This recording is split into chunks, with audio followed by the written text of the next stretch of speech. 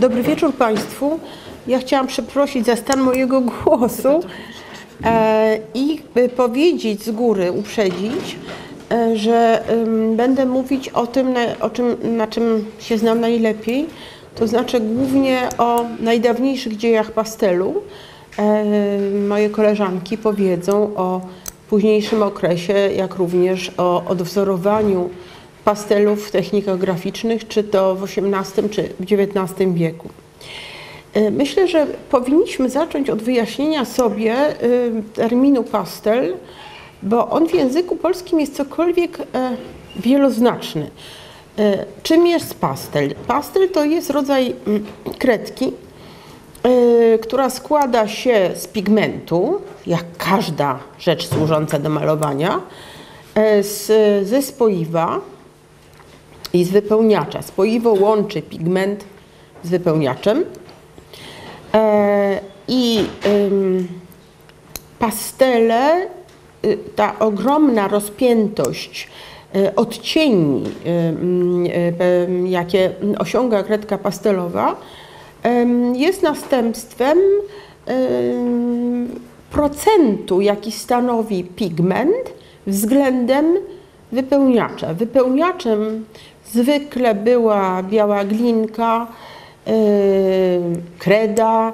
Od charakteru wypełniacza i charakteru spoiwa mm, zależało to, czy pastel był kruchy, czy pastel był bardziej trwały, to znaczy, czy ta kredka pastelowa, proszę sobie wyobrazić kredkę świecową, taką, jaką, jakiej używają dzieci, przy czym pastel jest suchy, aczkolwiek w drugiej połowie XVIII wieku czyniono próby z wprowadzeniem pastelu tłustego, o czym za chwilę.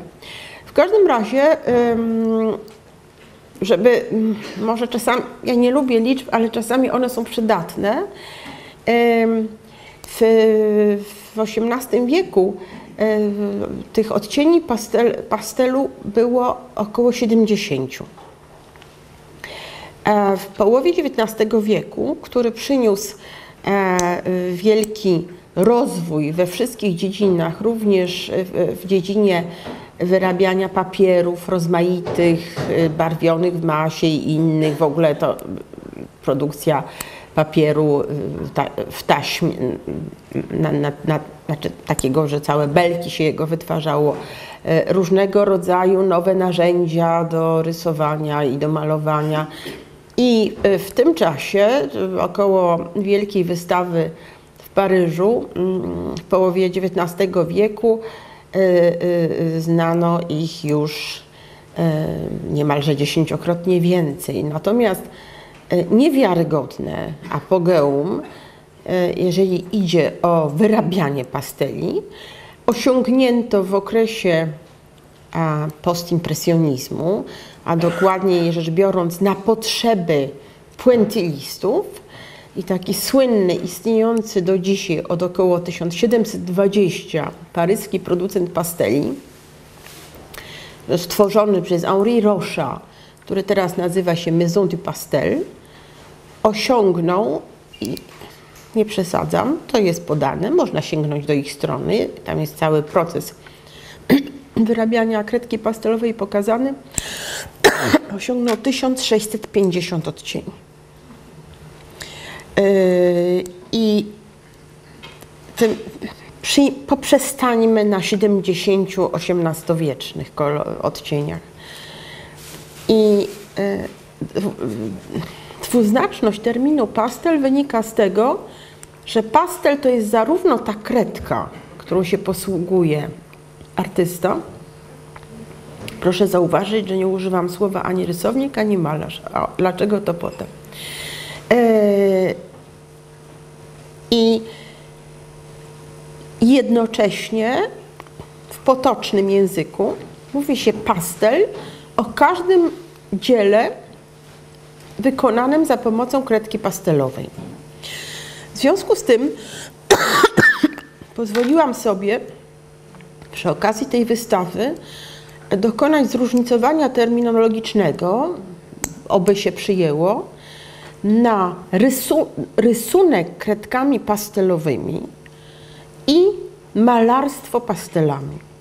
Dlatego, że to jest technika, która pozwala z jednej strony na wzbogacenie kolorystyczne rysunku, z drugiej, a w, w XVIII wieku, który jest głównym przedmiotem moich badań i tego, co będę starała się Państwu przekazać, tworzono obrazy pastelami. Zarówno ich wielkość, jak i e, malarski charakter pozwala mówić o obrazach malowanych pastelami, czy o malarstwie pastelami.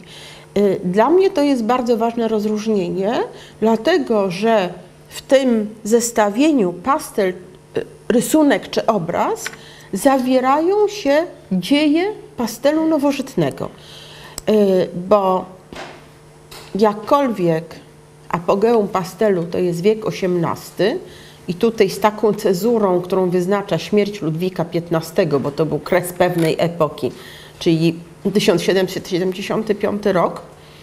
Potem mamy 100 lat później do czynienia ze wspaniałym odrodzeniem pastelu, czego przykładem impresjoniści z Degasem na czele.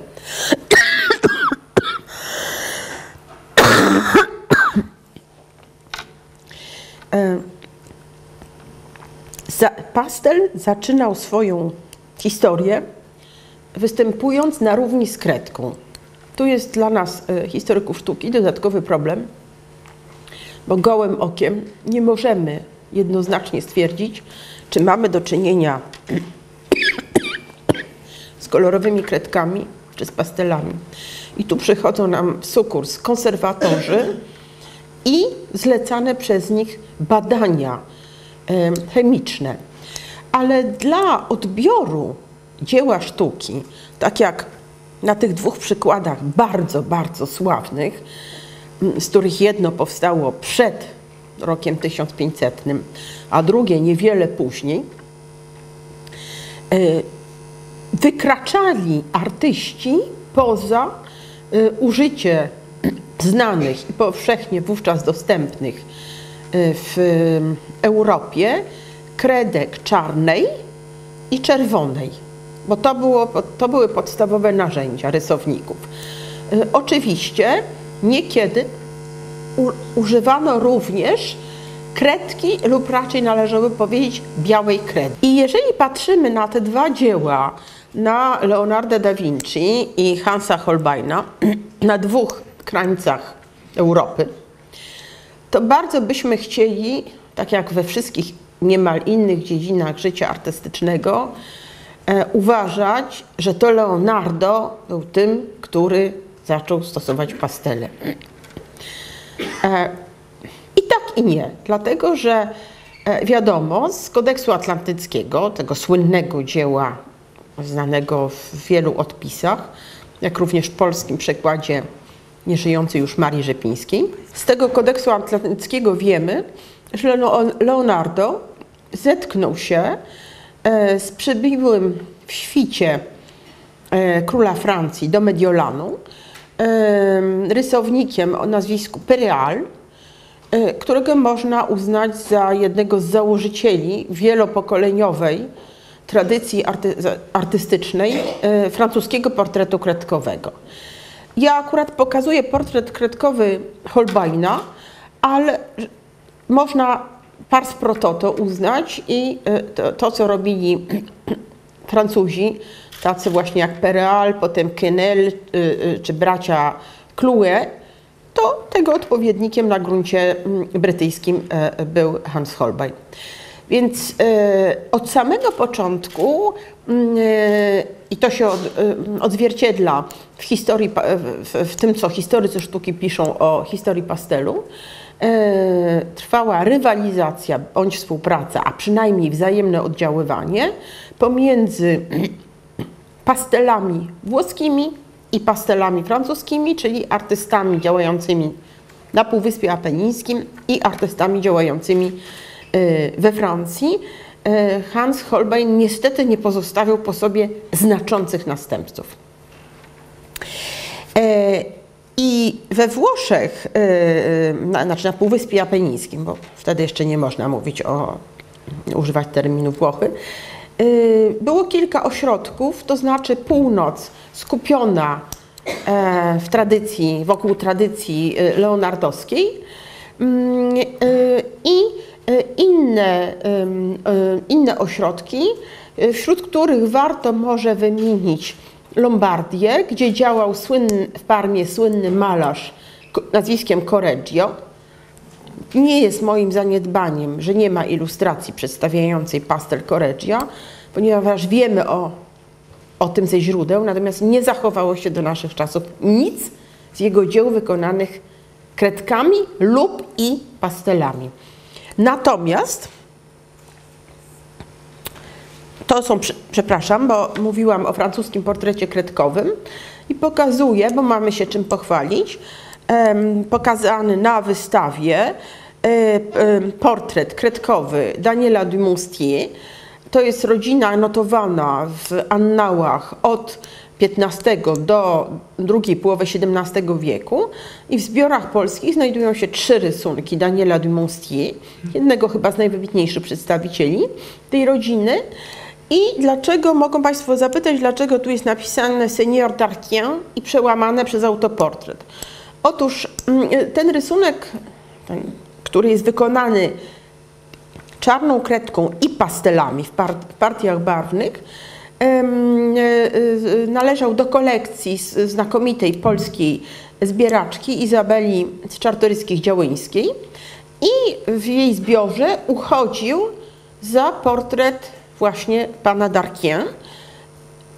Tu warto sobie przypomnieć, że e, e, z rodziny Darkien była Marysieńka Sobieska, więc byłoby to poniekąd polonikum i wydaje mi się, że Działyńska, no Czartoryska Działyńska kupiła ten rysunek do swoich zbiorów i dwa inne, nie bez powodu, raz dla rangi tego artysty, dwa dla polskiego charakteru. Mówiąca do Państwa te słowa, znalazła inny rysunek, e, i przez porównanie e, wysunęła sugestię, że może być to autoportret Daniela Dumoustier. E, to są takie, powiedziałam, zabawy nas, historyków sztuki.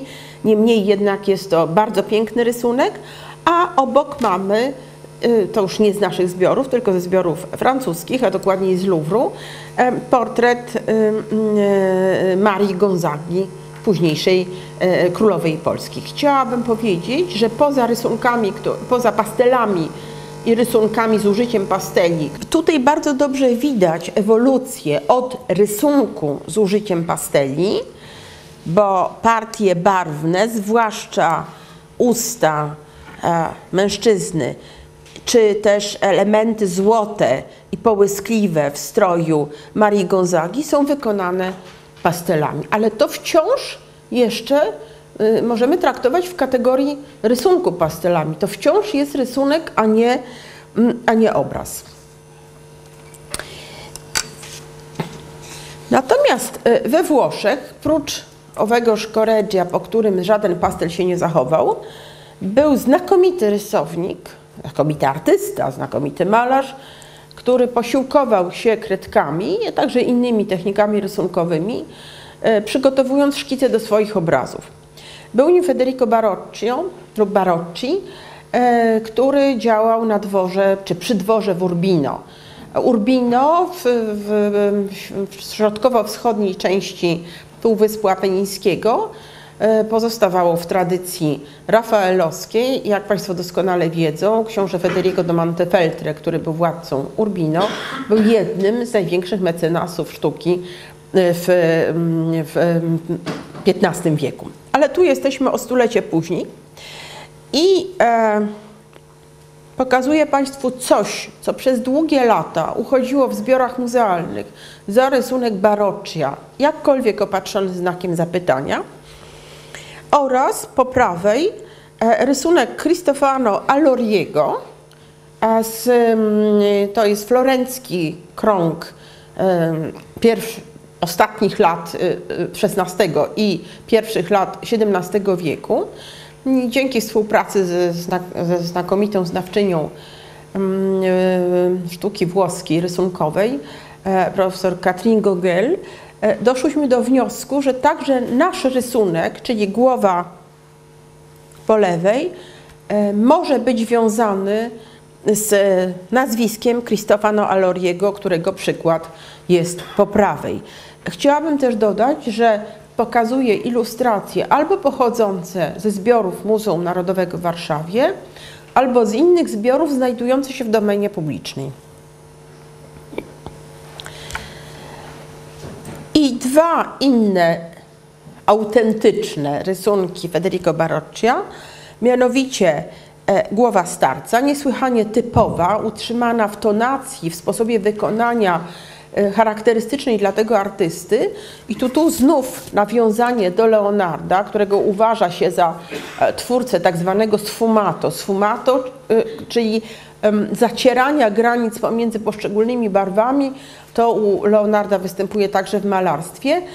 I Barocci posługiwał się tą samą metodą, przy czym wykorzystywał podłoże, barwny papier, na jakim malował i rysował e, kredkami. To daje rzeczywiście bardzo malarskie efekty, bo jeżeli zanalizować głowę starca po prawej, to widać, że ilość użytych barw jest bardzo ograniczona, ale ten błękit, który stanie się z czasem wyróżnikiem bardzo wielu prac pastelami na papierze, i będzie decydował o tonacji, ogólnej tonacji dzieła, tu mamy jego wyraziste początki. E, wiek XVII przyniósł zasadniczą zmianę, która najwcześniej i może najpełniej objawiła się we Francji, mianowicie przechodzenie, to jest moment takiego E, takiego, takiej transformacji artystycznej, kiedy artyści posługujący się kredką pastelową e, zaczęli e, odchodzić od rysunku z użyciem pasteli do malowania obrazu pastelami. Nieprzypadkowym przykładem jest tu Robert Nontey, ponieważ on był nie tylko rysownikiem, ale również rytownikiem i nosił nawet tytuł e, e, graveur e, dessinateur du roi. I bardzo często Robert Nanteuil, robiąc portrety, bo głównie zajmował się sztuką portretową, co jest zgodne z francuską tradycją portretu kredkowego, przygotowywał w technice pastelu to, co później rytował a tym samym powielał. I y, jego twórczość jest no, swego rodzaju kamieniem milowym, e, pokazującym, że przy niewielu narzędziach, przy bardzo ograniczonym pod względem kolorystycznym zasobie narzędzi, e, jakimi były pastelowe kredki lub jak chcą niektórzy koledzy po fachu pastelowe sztyfty, można było uzyskać efekt iście malarski. I tutaj mamy portrety jako przykłady znajdujące się w Louvre e, słynnego marszałka de Turenne e, po lewej w zbroi. Proszę zobaczyć na absolutnie niezwykłą finezję, bo tu jest wszystko oddane przy pomocy kredki, która z natury swojej jest sucha, puszysta, lekka i pozbawiona połysku. A tu mamy połysk, bo wyraźnie ta koronka, ten koronkowy kołnierz wyłożony na zbroję, no w paradnych portretach, tak zwanych portret de para, e, e, wybitnych postaci życia politycznego, wojskowego czy innego, pokazywano to, co było w ich stroju najcenniejsze, co znamionowało e, warstwę, do której przynależeli. Więc tu mamy z jednej strony koronki, z drugiej strony perukę, a z trzeciej mamy lśnienie paradnej zbroi, w którą marszałek Turenne jest tutaj zakuty. Dlaczego przy drugim z portretów biskupa Mo, to jest ten sam okres, czyli połowa XVII wieku, napisałam Rycina 1661, ponieważ znana jest rycina wykonana podług tego portretu pastelami. Mniej więcej w tym samym czasie władca Florencji, przepraszam najmocniej, odbywając podróż do Francji, zetknął się z twórczością Roberta Nantey, który działał w kręgu mecenatu królewskiego i nakłonił jednego z florenckich e, artystów do posłużenia się pastelami, do posłużenia się kredkami pastelowymi na sposób francuski. E, I tu pojawia się na e, horyzoncie artystycznym Florencji najpierw Tempesti jako pastelista, potem jego uczniowie. Wreszcie ta technika, która od Leonarda posuwa się z północy Włoch coraz bardziej na południe, na przełomie XVII i XVIII wieku e, umiejętność e, posługiwania się kredkami pastelowymi w celach coraz bardziej malarskich, a coraz mniej rysunkowych, dochodzi do Rzymu, y, gdzie znakomitym przedstawicielem był Benedetto Luti. Y,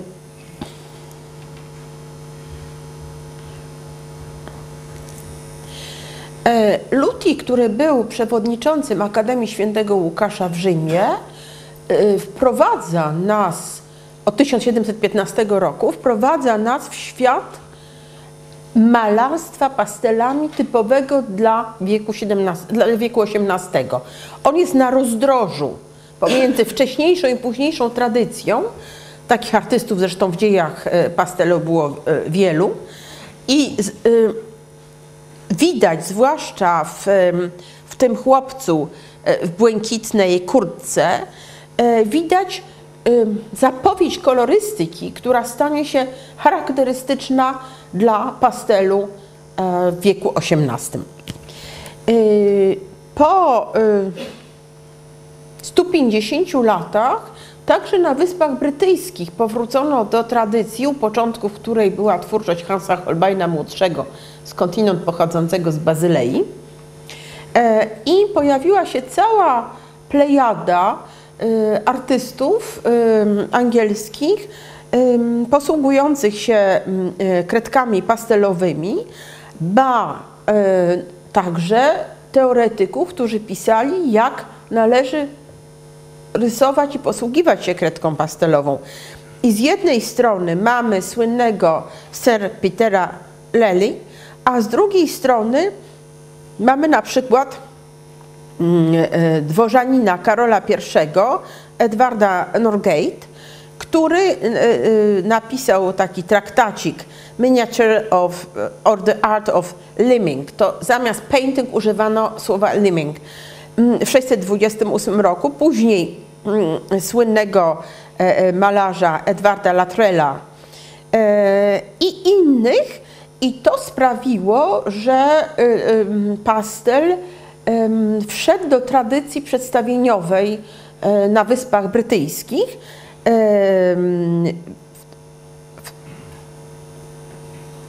I myśl, czy teoria dotycząca pastelu, czy też podręczniki, jakie pisali artyści albo przyjaciele artystów, bo jak Państwo doskonale wiedzą, nie zawsze artyści najlepiej władają piórem, więc bywało też tak, że zaprzyjaźnieni z artystami e, piszący dziś byśmy powiedzieli intelektualiści, opisywali metody postępowania i musiał być już wówczas pastel rzeczą pożądaną i umiejętność rysowania pastelami e, takoż, skoro powstawały w drugiej połowie XVII wieku, a szerzej w XVIII, e, podręczniki czy traktaciki nie tyle dotyczące teorii, co praktyki. Jak samemu nauczyć się rysowania pastelami.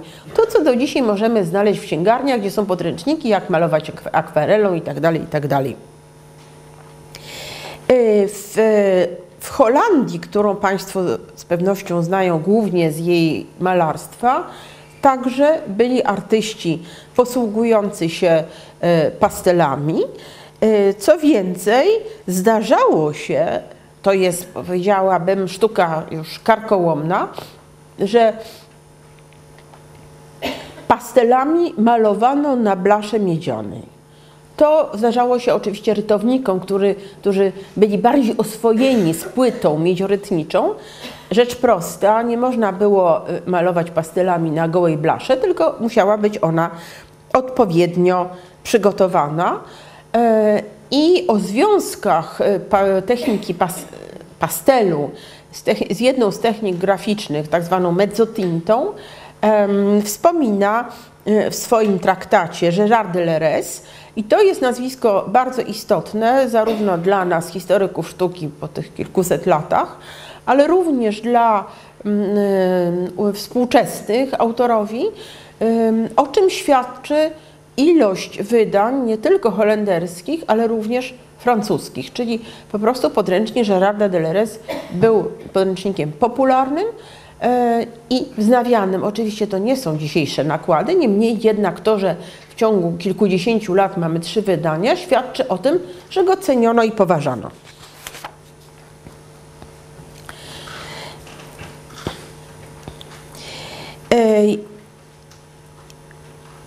Luti był porównywany do nieznanego nam od tej strony Correggia i do znanego nam doskonale Federica Barocciego. E, notabene Barocci pozostawił po sobie dwa, 2000 rysunków. E, oczywiście przyjmując, że nie wszystkie rysunki artystów się zachowały, to skala porównawcza jest dość obezwładniająca, bo e, mało który artysta zostawił tak ogromne po sobie dzieło, e, przy czym w przypadku Baroccia bardzo wiele było właśnie wykonanych kredkami i pastelami na, na błękitnym papierze. Dla porównania o pokolenie o pokolenie młodszy Guercino, którego wystawę mogliśmy Państwu przedstawić przed dwoma laty, uważany za wielkiego rysownika, zostawił po sobie 800 rysunków. To tak dla porównania. I skoro jesteśmy we Włoszech, to chciałabym, żebyśmy jeszcze chwileczkę w nich pozostali, e, ze względu na postać bardzo sławnej pastelistki, wenecjanki, e, Rosalby Kariery.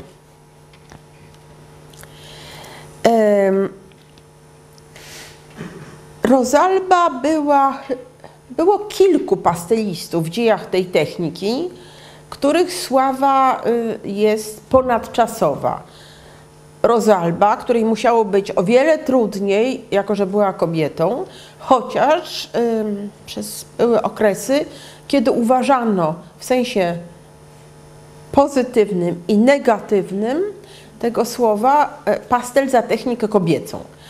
Ale Rosalba Carriera była absolutną mistrzynią e, i jako taka objechała wszystkie niemal miasta, liczące się miasta i dwory Europy.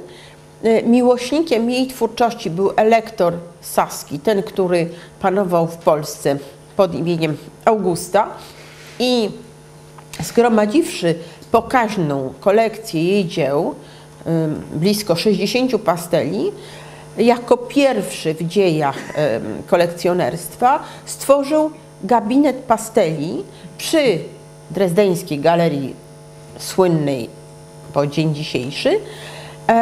I ten gabinet pasteli stał się wzorem dla wszystkich innych i warto może wspomnieć, że w 2005 roku, kiedy Muzeum Narodowe po raz pierwszy pokusiło się o próbę wystawienia pasteli. E, powstał naszymi siłami stworzony gabinet pasteli, który usiłowaliśmy choć po trosze upodobnić do tego drezdeńskiego. Też miał boazerię i zielonkawe ściany, przy czym w przeciwieństwie do możliwości elektora saskiego, nie mogliśmy sobie pozwolić na to, żeby wszystkie ramy były jednakowe, rzeźbione, złocone z motywem rokai.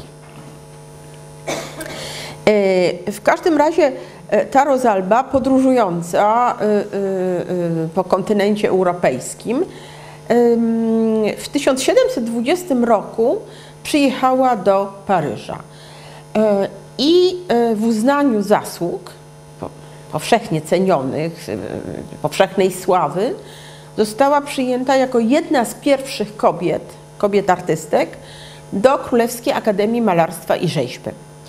E, Rosalba zamieszkała w, w siedzibie e, paryskiej bardzo potężnego e, bankiera, Pierre Crozat, który położył wiekopomne zasługi kolekcjonerskie jako jeden z najwybitniejszych, nie bez znaczenia była jego fortuna finansowa, kolekcjonerów w ówczesnej Europie, notabene po jego śmierci dzieła sztuki wystawione na aukcji w latach 40. w Paryżu i później drogą różnego rodzaju roszad kupna i sprzedaży w znacznej mierze trafiły do zbiorów Ermitażu. A y, poza tym, że zaprzyjaźnił się z Rosalbą i przyjaźnił się również i był protektorem wielkiego francuskiego malarza Antoine'a Watteau, e, a w jego kolekcji znajdowały się wspaniałe obrazy i wspaniałe rysunki um, artystów, między innymi artystów weneckich, ale również, co było rzadsze, ponieważ moda dopiero na to się pojawiała, artystów flamandzkich i holenderskich. Także Rosalba, zaproszona przez Krozata do jego domu, poznawszy e, Antoine'a Watteau, e, wszedłszy do Królewskiej Akademii Malarstwa i Rzeźby, właściwie weszła w najważniejsze kręgi życia artystycznego, ale także mecenatu i kolekcjonerstwa paryskiego lat dwudziestych XVIII wieku. Jej twórczość jako pastelistki stanowiła bardzo istotny bodziec dla rozwoju malarstwa pastelami, bo przecież tak jak tu wszyscy jesteśmy, to z pewnością, jak się mówi o pastelach, to z jednej strony myślimy o Francji XVIII wieku, a z drugiej strony o przedstawicielach polskiej secesji przełomu XIX i XX, wieku. To są takie dwa rezerwuary, z których czerpiemy naszą wiedzę na temat pastelu ze względu na jakość, rangę i liczbę zachowanych dzieł. I pastele były w Paryżu bardzo pożądane, gdzie indziej też, dlatego że zmienił się typ wnętrza mieszkalnego. Zamiast tych wielkich, bardzo wysokich, E, pompatycznych i e, pomimo swojego bogactwa w jakiejś mierze surowych wnętrz e, utrzymanych w stylu Ludwika XIV, okres regencji, to są właśnie lata dwudzieste, a później okres panowania Ludwika XV, stąd nazwa styl Ludwika XV, przyniósł wnętrza znacznie mniejsze, ale nie, na, nie, w, nie w dzisiejszej skali, znacznie niższe, i znacznie bardziej przytulne. I pastel, wyjąwszy wielkie portrety oficjalne, który nie był bardzo duży, bo zwykle to są wielkości rzędu 70 na 50 centymetrów. Ja mówię o standardzie, zdarzają się dużo, dużo większe i zdarzają się niekiedy mniejsze. Ten pastel doskonale nadawał się do dekoracji w tych wnętrz, zwłaszcza, że wiek XVIII, a, a jego środkowa część, nazywana, nazywany bywa niekiedy wiekiem kobiet, bo kobiety królowały w salonach, decydowały o tym, o czym się mówi, kogo się zaprasza. I mm, ten kobiecy rys y, salonu paryskiego rzutował także na zapotrzebowania artystyczne. E, innego rodzaju tematy, innego rodzaju techniki, innego rodzaju e, malarstwo, bo tu już mamy do czynienia nie z rysunkiem pastelami, ale z malarstwem pastelami. W przypadku Rozalby, może tego ja, tak bardzo tu nie widać, bo to wszystkie zniekształcenia elektroniczne następują, ale Rozalba malowała niemal zawsze na błękitnym papierze. I to jest charakterystyczne, że pastele Rozalby są tak jakby em, widziane przez błękitne szkło albo mają błękitną poświatę.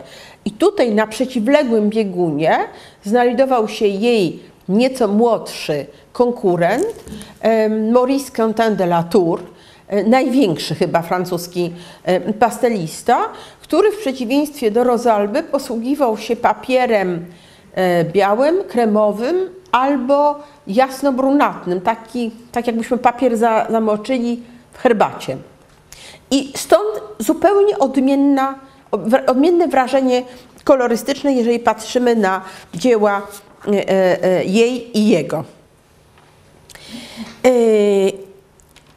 Wybrałam wczesny stosunkowo autoportret Rosalby, która przedstawiona jest w trakcie malowania miniatury swojej siostry, która też była znakomitą miniaturzystką. I jeden z niewielu znanych nam portretów Antoine'a Watteau, którego Rosalba poznała i sportretowała. E, oraz dwa inne autoportrety e, Rosalby. Ten po prawej, e, przedstawiający ją jako alegorię zimy, stąd aksamitne, aksamitny płaszcz i aksamitna czapeczka bramowane futrem. I tu doskonale widać tą typową dla pasteli Rosalby błękitnawą poświatę. Natomiast e, em, pas, autoportret Rosalby w podeszłym wieku z e, wieńcu, z liści laurowych,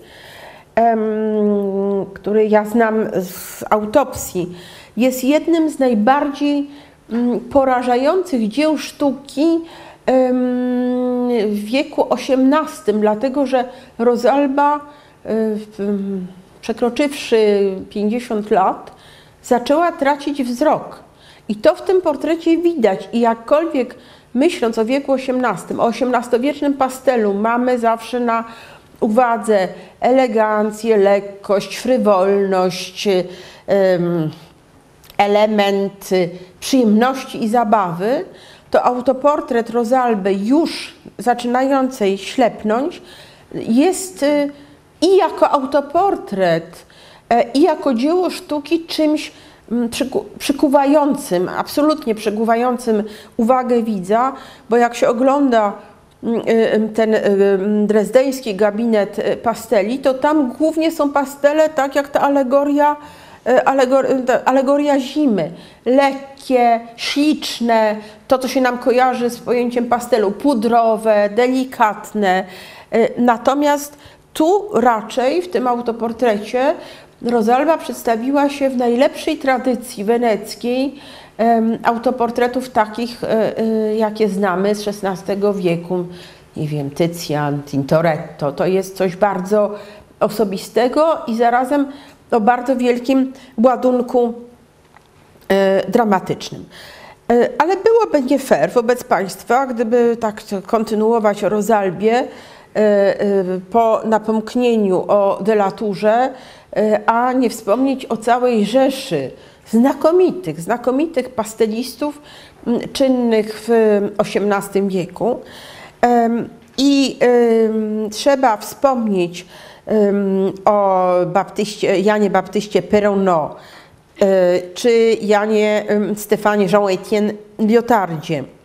On co prawda pochodził z Genewy, ale to nie ma znaczenia, bo jego rodzice pochodzi, było, pochodził, pochodzili, to byli hugenoci z południa Francji, którzy musieli do tej Genewy wyemigrować, ale potem Lyotard wrócił do Francji i był uznawany za artystę francuskiego. To są pasteliści, którzy pozostawili po sobie ogromne dzieło. Po y, delaturze zachowało się blisko 700 pasteli.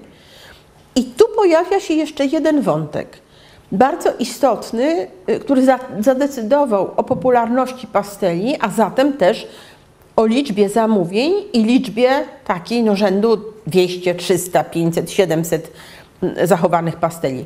Otóż w przeciwieństwie do tradycyjnego portretu olejnego, e, który trzeba, maluje się etapami, trzeba mieć szkic, potem podmalówkę, potem się zaznacza pewne barwy, potem się najczęściej laserunkowo kładzie inne, potem w międzyczasie on musi schnąć.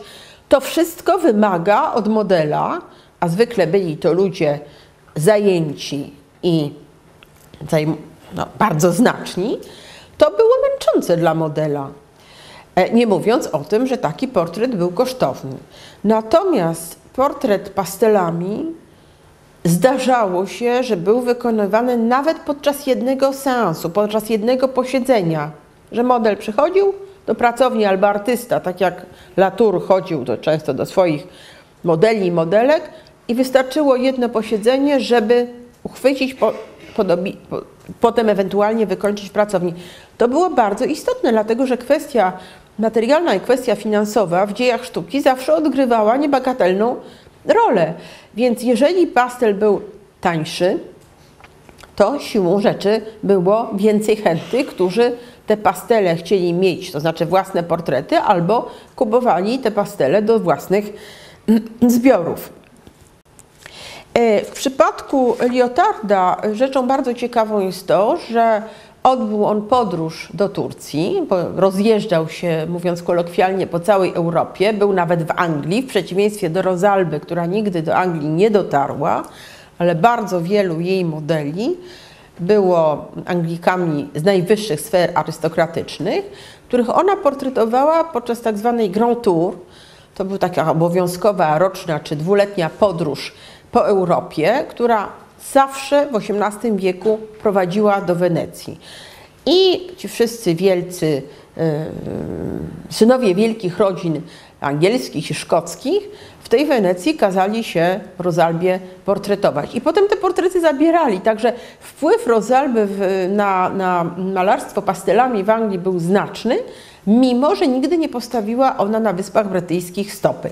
W przeciwieństwie do, do Liotarda, obieży świata, który y, nie tylko pojechał do Turcji, ale też pojechał na Wyspy Brytyjskie, ale oczywiście pobyt w Turcji jest znacznie ważniejszy, dlatego że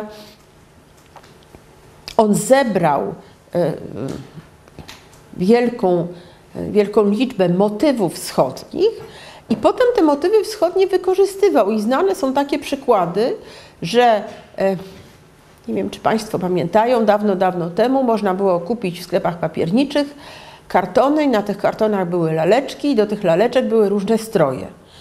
I troszkę tak było z liotardem, bo na przykład do tego samego kostiumu siedzącej kobiety na sofie stroju tureckiego wkładał różne modelki. Więc mamy na przykład Turczynki, ale mamy też damy z arystokracji brytyjskiej w stroju tureckim. I jeszcze jedno, jeszcze jest jeden powód, dla, dla którego te motywy tureckie się podobały. Otóż wiek XVIII na swój sposób poszukiwał egzotyki i nowości. E, I choćby w Polsce działający e, Jean-Baptiste Pilmont, który przyjechał na, na prośbę czy na, na zlecenie Stanisława Augusta, między innymi takie dekoracje w stylu chińskim projektował dla rezydencji królewskich w Warszawie. One się niestety te w Zamku Ujazdowskim razem z Zamkiem Ujazdowskim nie zachowały, no ale są zachowane do nich szkice w zbiorach warszawskich. Więc z jednej strony poszukiwano motywów dalekowschodnich, tylko nie, proszę nie myśleć, że szukano istoty Dalekiego Wschodu. Szukano tego elementu egzotycznego, tej odrobiny pieprzu, żeby ubarwić tą elegancką frywolność, która panowała wówczas w Europie. A zaraz po Chinach nadeszła moda na motywy tureckie zwane z francuska turquerie. Więc jasnym się staje, dlaczego Lyotard był malarzem. Pas malarstwo pastelami Lyotarda cieszyło się taką renomą. Yy, oprócz pastelistów zawodowych, którzy się nie parali malarstwem w innych technikach, yy, notabene od końca XVII wieku Królewska Akademia Malarstwa i Rzeźby nie różnicowała, wyjąwszy dwa, dwa krótkie okresy, e, to czy, czym jest obraz wykonany. Także wielki e, pastel, portret pastelami miał tą samą rangę co portret olejny. To nie, nie odgrywało większego znaczenia. Więc oprócz tej rzeszy pastelistów istnieli również malarze, i to najwięksi, tak jak François Boucher, którzy od pastelu nie stronili. I tu wybrałam dla Państwa dwa e, skrajne, e, pochodzące ze skrajnych biegunów jego zainteresowań artystycznych przykłady, bo z jednej strony ten szkic draperii i nogi, zapewne odaliski, bo to był główny temat malowany przez François Boucher, gdzie on posłużył się pastelami tak, jak niegdyś posługiwali się rysownicy, żeby zanotować pewną rzecz, która potem może mu się przydać. Niemniej jednak, jak patrzymy na ten pastel, to widzimy obraz, a nie rysunek. Widzimy całą powierzchnię starannie pokrytą warstwą pastelu. Natomiast po prawej mamy e, paradny, oficjalny portret kochanki Ludwika XV, Madame de Pompadour, i ten y, y, liczący ponad półtora metra wysokości portret, który jest wystawiany w stałej ekspozycji malarstwa francuskiego w Louvre oraz słynny portret Józefa Vivien, Francuza czynnego między innymi w Niemczech, portret elektora bawarskiego, który jest w Pinakotece Monachijskiej, to są chyba dwa największe pastele, jakie w dziejach tej techniki wykonano. Ale Boucher był tak sławnym malarzem, że z jego pasteli robiono ryciny.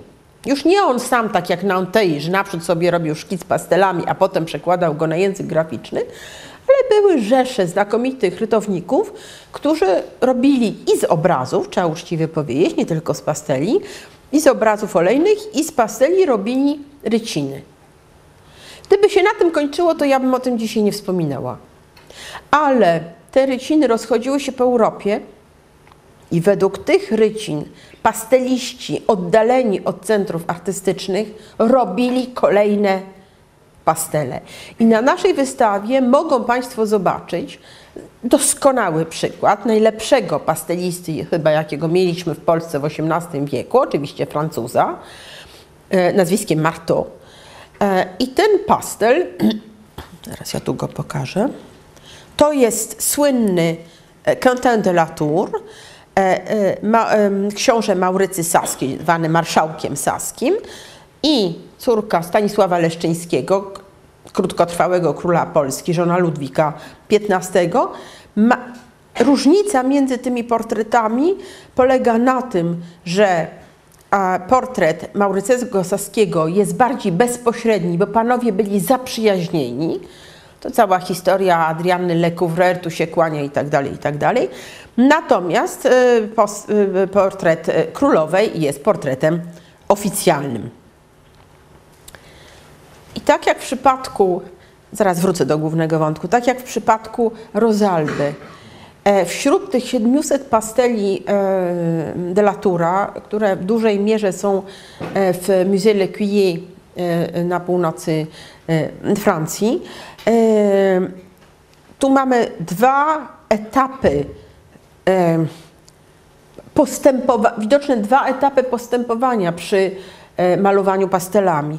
Mamy naszkicowany zaledwie, bardzo werystyczny autoportret artysty i mamy szkicowy, niedokończony, e, znanej w owym czasie aktorki Mademoiselle Fell.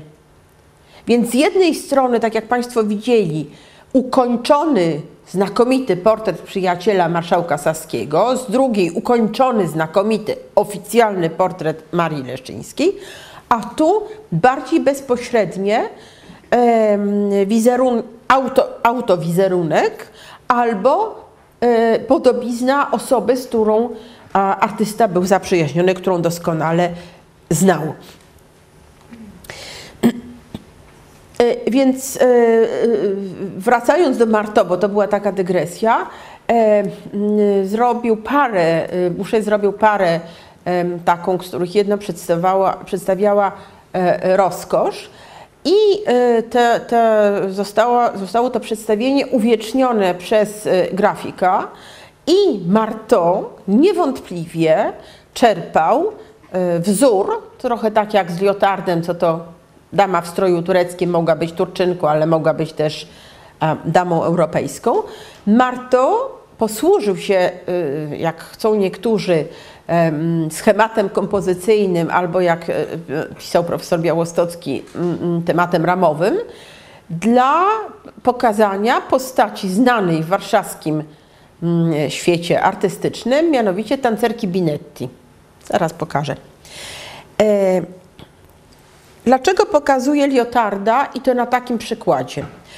E, otóż mamy tutaj do czynienia po lewej z oryginalnym pastelem, który jest w zbiorach drezdeńskich i kopią, która znajduje się w zbiorach e, e, Muzeum Narodowego w Warszawie i jest wystawiana.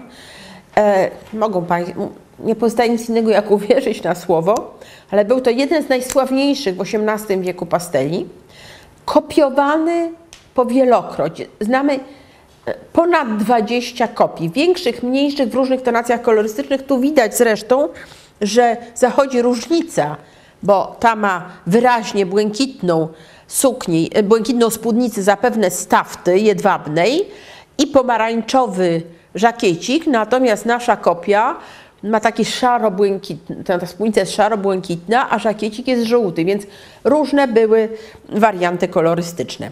Pokażę w takim razie teraz Chardena, malarza chyba najbardziej cenionego przez y, y, y, twórcę krytyki artystycznej, jakim był Denis Diderot, to ten sam od encyklopedii Diderota i de Lamberta. I pokazuje Państwu, um, zgodnie z tradycją portretów pastelowych, y, trzy autoportrety namalowane mniej więcej w tym samym czasie przez Chardena, który Dalibóg pastelistą nie był. Malował olejno. Ale pod koniec życia, mówi się, że mm, y, y, utrata wzroku, stopniowa utrata wzroku mogła była być spowodowana szkodliwym działaniem bieli ołowiowej, która wchodziła w skład bieli olejnej. Natomiast nie było powodu, żeby w pastelach używać bieli ołowiowej, dlatego że w pastelach używano kredy albo glinki, więc ta biel była zupełnie innego, innego źródła. I to są trzy Mm, no, bardzo takie, powiedziałabym, dojmujące w swojej ekspresji, podobnie jak autoportret wiekowej już e, Rosalby, trzy studia mm, e, autoportretowe malarza, które znajdują się w Luwrze. Po okularach widać w sposób oczywisty, że wymagał e, pomocy, że nie widział dobrze, i ciekawostką związaną mm, z polskim malarstwem jest to, że e, do wielbicieli Chardena należał Józef Pankiewicz, że między innymi namalował jeden ze swoich portretów najwyraźniej pod wpływem autoportretów szardenowskich. I nie jest to tylko nasze domniemanie, dlatego że w prowadzonych, zapisanych i opublikowanych E, przez Józefa Czapskiego, również malarza, rozmowach z Pankiewiczem, e, e, Pankiewicz wyraża swój zachwyt i swoje upodobanie i podkreśla wszystkie zalety Chardena jako malarza. I tutaj Pankiewicz jest w pewnym sensie zgodzie, w zgodzie z Denisem Diderotem, który też był wielkim wielbicielem Chardena, głównie jego martwych natur. E, pastel nie byłby tym, czym był w XVIII wieku, powiedzmy do rewolucji francuskiej, e, jeśli idzie o historię, a do początków klasycyzmu, jeśli idzie o historię sztuki, gdyby nie była, było całej ogromnej rzeszy pastelistów działających we Francji, działających w Anglii, także w Niemczech. I tu mamy moc różnych nazwisk, e, takich jak Mm, Adelaida Labiguiar, czy znacznie od niej sławniejsza konkurentka e, e, Elisabeth Vigée-Lebrun, e, czy naturalizowany we Francji Szwed nazwiskiem Hall. Więc o tym, że to jest tak, że sławne nazwiska to jest jedno, ale o tkance artystycznej stanowią ci pomniejsi, którzy na co dzień każdy mógł się do nich zwrócić, malowali oni portrety i malowali te portrety pastelami. I to jest właśnie ta druga część, bo wyszli w tym naszym dzisiejszym spotkaniu, wychodziliśmy od rysunku pastelami, kiedy pastel był wprowadzał dodatkowy element kolorystyczny do rysunku. Natomiast w XVIII wieku, w apogeum pastelu jako narzędzia, powiedziałabym, malarskiego, mimo że nic z pędzlami farbami nie miał do czynienia, dochodzimy do malarstwa pastelami. I to jest w tym, w tym, w tym, w tym przeciągu stu kilku, kilkudziesięciu lat zamyka się pierwszy etap dziejów techniki e, pastelowej. E, drugi etap otwiera się 100 lat, e, 100 lat później. Mianowicie e, tu przejdziemy do wieku. To, to jest przykład klasycyzujący, by nie powiedzieć klasycystyczny.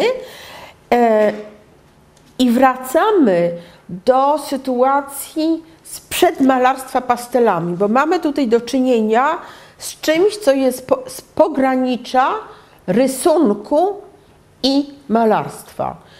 Bo mamy wyrazistą kreskę, ale mamy też wyraźnie przydany pastelami kolor. I to jest e, bardzo istotne. I to stanowi pewnego rodzaju cezurę. To znaczy, e, po rewolucji francuskiej pastele we Francji jako te ulubiona technika zanikły razem ze starym ustrojem. Natomiast uchowały się bardzo długo, bo do lat 40. XIX wieku na terenie Niemiec. I było bardzo wielu małych mistrzów niemieckich, e, którzy e, wykonywali e, portrety pastelami także w kręgach mieszczańskich, już nie tylko w najwyższych sferach arystokratycznych, tak jak to było we Francji i w, w Anglii, ale to stało się sztuką mieszczańską. By zaniknąć nawet w Niemczech około 850 i trzeba by, potrzeba było niecałych dwóch dekad, żeby artyści ponownie zainteresowali się pastelami.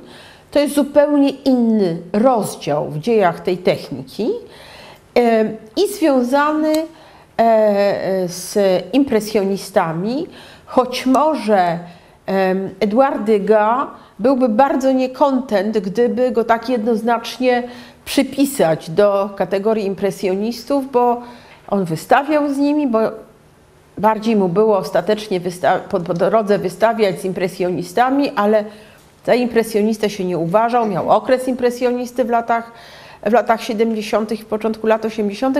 Niemniej jednak był największym największym, to, mogę, to nie jest moje subiektywne zdanie, bo bym się nie ośmieliła tak przy nim tutaj trwać, y, był najwybitniejszym pastelistą drugiej połowy XIX wieku i największym nowatorem w zakresie pastelu, bo Degas, jeszcze mamy po drodze akademika i chciałabym, żeby Państwo zauważyli, jeśli pójdą na wystawę, bo to jest dość rzadki przypadek, żeby ten artysta pozosta pozostawił po sobie pastele. Notabene Puy de Chavannes, późny akademik francuski, rzadko się pastelami posługiwał, więc tym, tym, tym większe jest znaczenie i ranga tych dwóch szkiców, które są związane z dekoracją klatki schodowej w, w, w, wspaniałym, eklektycznym gmachu w Lyonie, w którym znajduje się Liońskie Muzeum Sztuk Pięknych. E, w każdym razie, wracając do naszego inne znakomite dzieło, jedyne w Polsce, to jest e, Jean-François Millet, e, który był odnowicielem pasteli ale pojmowanych, techniki pojmowanej w bardziej tradycyjny sposób, o dekadę wcześniej, aniżeli uczynił to nowator i poszukiwacz nowych efektów, jakim był Degas. Dlatego, że Degas posługiwał się mm, kredkami pastelowymi e, na rozmaite, dziwaczne sposoby, na, chcąc uzyskać powierzchnię przypominającą efekt kładzenia farby, farby wodnej, E, na przykład polewał dopiero co zarysowaną pastelami kartkę papieru wrzątkiem.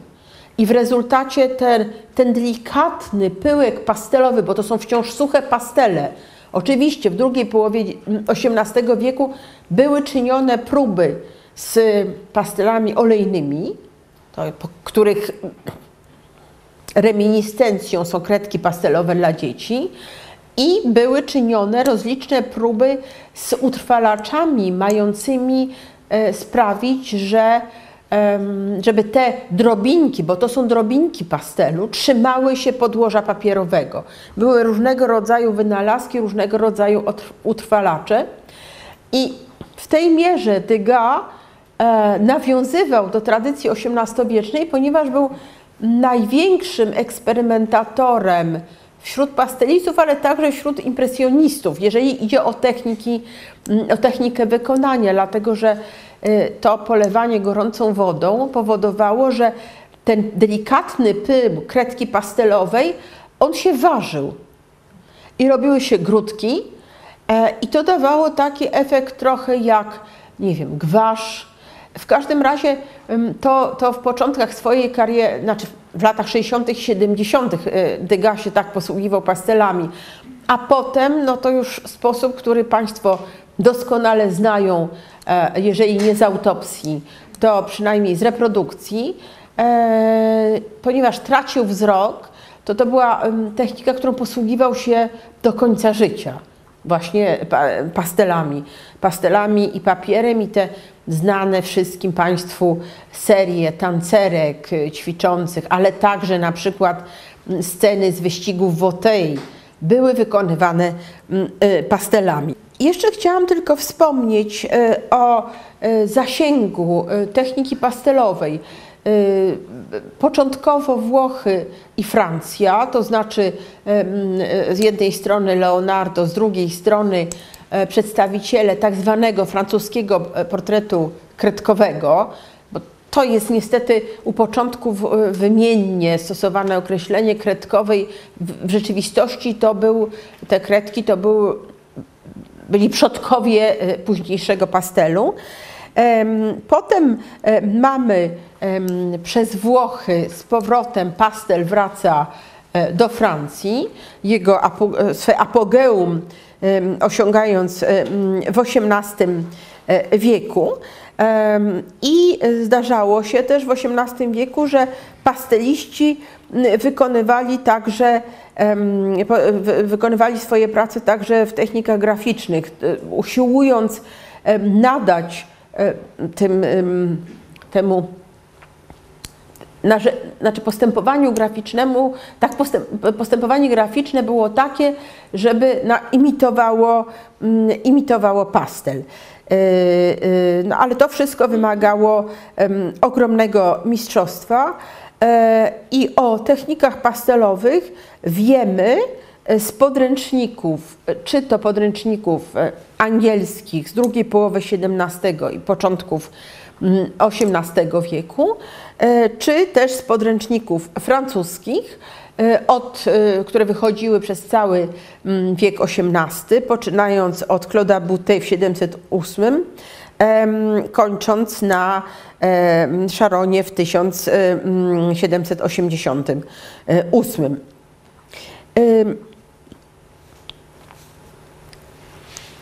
może warto pamiętać, jak, się, jak wracamy jeszcze na chwilę do dziejów pastelu, że um, elektor Saski był również królem polskim i jego syn. I to było nie bez znaczenia dla pojawienia się w Polsce mody na pastele. Zamawiano oczywiście przede wszystkim portrety. E, Pastel był niesłychanie popularny na e, wyspach, e, na wyspach brytyjskich, e, co wiąże się może nie tyle z bytnością, co z oddziaływaniem dzieł Rozalby Kariery, o których mówiłam wcześniej, ale także z podróżami artystów angielskich do Włoch, gdzie zapoznawali się z tą techniką e, i nawet pisali na ten temat e, traktaty.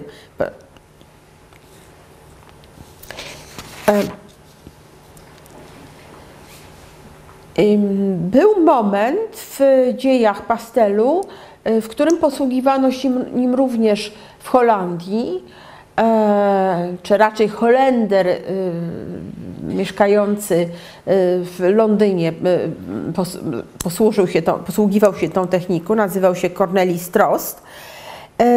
Natomiast niewątpliwie można powiedzieć, że kres panowania Ludwika XV we Francji to jest y, kres y, tej tego świetności pastelu we Francji. I tu raz jeszcze wracam do Niemiec, gdzie ta tradycja trwała jeszcze przez 50 y, dobrych lat. Oczywiście pasteliści XVIII-wieczni e, nie tylko poszukiwali metod utrwalania dzieł w tej technice, ale stosowali różnego rodzaju e, innowacje, e, e, co widać zarówno w traktatach, jak i w różnych wynalazkach i niektórzy na przykład mieszali pył pastelowy z alkoholem, żeby go utrwalić. To są takie różnego rodzaju innowacje, poszukiwania. I tutaj właśnie na Wyspach Brytyjskich przede wszystkim pasteliści w tym mm, celowali. Chcę tylko powiedzieć, że na zakończenie, że pastel, który był techniką służącą największym artystom, y, y, i w XVII, jak próbowałam to Państwu pokazać, i w XVIII wieku, do którego wrócili niektórzy impresjoniści, tak jak Degas, o tyle o ile można go uważać za impresjonistę, wróci, do tej techniki sięgnęło bardzo wielu polskich przedstawicieli e, secesji. Wyspiański, Mechofer, e, tworząc rzeczy e, no, absolutnie, absolutnie niezwykłe. I postimpresjoniści, o czym wspominałam, że Henri Roche ten od, ta wytwórnia pasteli we Francji robiła dla postimpresjonistów, którzy jak Państwo pamiętają kładli barwne kreski obok siebie, osiągnęła te 1650 odcieni. Nie kolorów, odcieni. Więc to są takie różne mm, ciekawostki techniczne i technologiczne. E, pa, pastel, jeżeli jest dobrze przechowywany, dobrze traktowany, oszklony. W starych inwentarzach, to też jest ciekawostka, w starych inwentarzach często, a kiedy szkło było, wydawało się cenniejsze, duża tafla szklana wydawała się cenniejsza od pastelu, to często się na przykład podaje wymiary tej, jakich wymiary i że taka wspaniała tafla szklana, a potem dopiero, że pod spodem jest dzieło wykonane, wykonane pastelami. E, nie będę mówić o utrwalaczach, e, o różnych fiksatywach, bo różnego rodzaju były procedury stosowane w tej mierze. E, w każdym razie zasadniczym przełomem był wynalazek Loriota, który był królewskim mechanikiem na dworze francuskim mm, i który go opatentował, wynalazł w latach 50. A, i opatentował, ale Y, y, y, tajemnica tego utrwalania pozostawała, mm, była tajemnicą do, do końca. I problem utrwalania pasteli jest rzeczą niesłychanie ważną, natomiast pastel dobrze traktowany, nie zanadto wystawiany na działanie światła, zabezpieczony mm, szkłem przed, działania, przed działaniem warunków zewnętrznych, jest pozosta po, pozostaje świeży, świetlisty i barwny e, bardzo długo. On nie lubi podróży, e, nie lubi przenoszenia, nie lubi zmian e, wilgotności i temperatury, ale przy całej swojej delikatności i wrażliwości, która sprawia, że my muzealnicy po prostu jak oglądamy pastele, to ręce nam się trzęsą, jeżeli jest dobrze traktowany, dobrze oprawiony, we wnętrzu o jednolitej temperaturze, bez naturalnego źródła światła, zachowuje swoją świetlistość, barwność i elegancję przez bardzo długi, przez bardzo długi czas. Jeśli idzie o wielkich artystów XIX wieku, którzy nie byli wielkimi pastelistami, tak jak Degas, to można wspomnieć, że największy chyba z romantyków francuskich, Delacroix, posługiwał się pastelami, ale posługiwał się pastelami nie dla dużych kompozycji, tylko troszkę tak jak my, to znaczy robił swoje szkice, y, zostawił po sobie szkicowniki liczące blisko 4000 stron. Posługiwał się czasami pastelami, żeby nadać kolor. A wielkie tafle szklane, y, które miały chronić pastele, były wytwarzane od końca XVII mm, wieku we francuskiej hucie szkła, która istnieje do dzisiaj y, w Saint-Gobain koło Lyonu. I to było bardzo ważne, dlatego że pastel oszklony, powieszony w wnętrzu z pozbawionym dopływu naturalnego światła dziennego, e, zachowuje swoją, swój kolor i swoją świeżość przez bardzo, bardzo długi czas. Natomiast nie znosi podróży. Tego pastel, bo to jest po prostu e, tak jakby Państwo, e, tak jak mandale się czasami wysypują kolorowym piaskiem.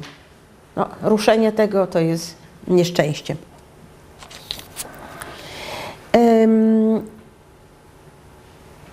W Polsce technika, technika pastelowa została wprowadzona stosunkowo późno. Moda przyszła e, troszkę właśnie z wetynami saskimi, którzy tam byli elektorami, a w Polsce byli królami.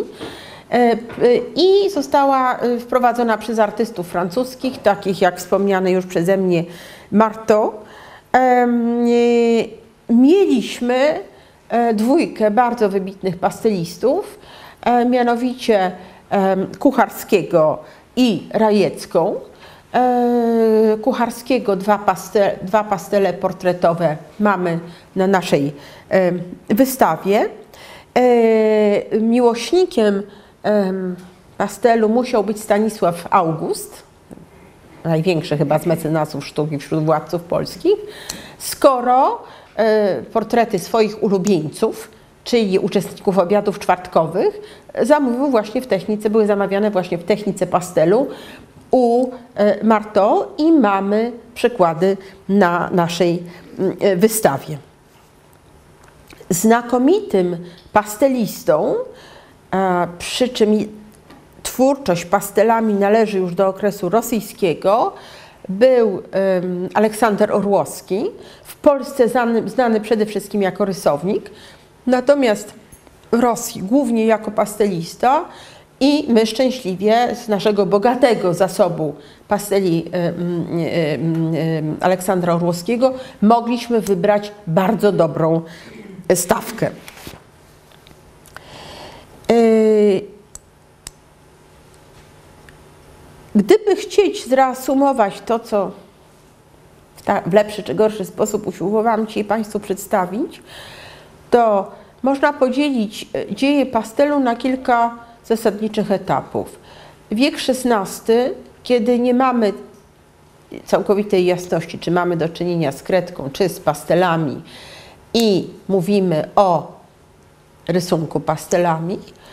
I od połowy wieku XVII właśnie od Roberta Nantey i y, artystów takich jak Luti, pokazywany przed chwilą w, we Włoszech, poprzez największe apogeum pastelu e, we Francji XVIII wieku, w, w czasach przed rewolucją, a właściwie do końca panowania Ludwika XV.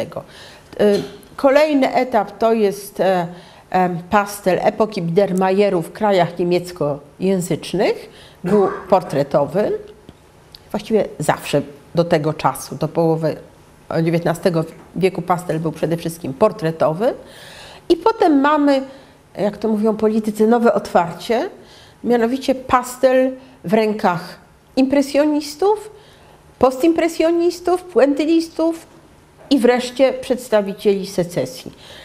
bo oni malowali pastelami, czyli pastel traktowany jako kredka, jako technika, jako narzędzie, medium artystyczne w ciągu lat y, 400 e, przeszedł ogromną ewolucję od rysunku, od tego elementu koloru, który dodawano do rysunku z natury swojej monochromatycznego, po malarstwo pastelami portretowe w wieku XVIII i malarstwo pastelami takie, jakie znamy u impresjonistów i u polskich przedstawicieli e, secesji, przedstawicieli młodej Polski.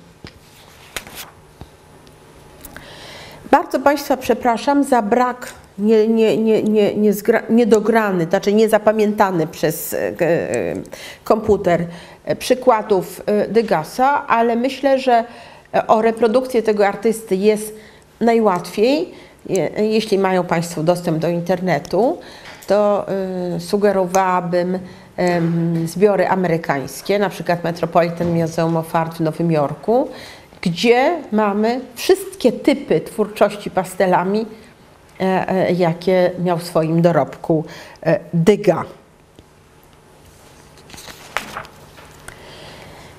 E, I prosiłabym, mm, taka moja skromna sugestia, e, żeby Państwo e, oglądający naszą wystawę, wczoraj otwartą, e, zechcieli tu i ówdzie spojrzeć na nietuzinkowe, nietypowe, niezwykłe zastosowanie pastylu przez artystów polskich, bo to jest w sztuce polskiej, jeśli można tak powiedzieć, e, językiem wyścigów, jedna z najlepszych stawek e, właśnie e, okres młodej Polski i tacy artyści jak, jak Wyspiański czy, czy Skarbiec Mechofera. Także my mamy też swoje 5 minut, znaczy Polska ma też swoje wielkie 5 minut w dziejach pastelu. M, Bardzo chciałabym Państwa zachęcić do obejrzenia wystawy, która jest podzielona chronologicznie. E, Ja starałam się ograniczyć do tego, co stanowi moją domenę, czyli do pierwszej sali pastelu historycznego. Oczywiście nie wszystkie nazwiska, o których mówiłam, są w polskich zbiorach, ale przynajmniej niektóre. Albo są mm, działający w Polsce cudzoziemcy, który, którzy te najlepsze wzory europejskie przynosili na gród Polski. Bardzo Państwu dziękuję za uwagę.